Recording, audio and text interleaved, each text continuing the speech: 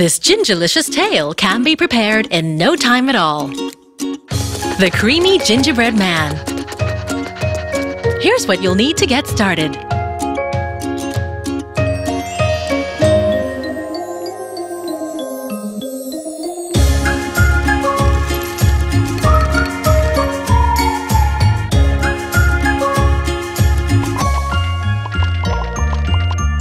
Once upon a time, a little girl baked a gingerbread man.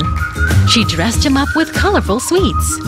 Just as she was to add the ice cream, the gingerbread man came alive and ran away shouting, Catch me if you can! The little girl ran as fast as her little legs could, but she soon lost sight of him. Just then, her eyes spotted tiny chocolate footprints. She followed the trail and it led her to the gingerbread man. The little girl snuck up behind him took out a scoop of her favorite ice cream and firmly placed it on his feet so he could never run away again.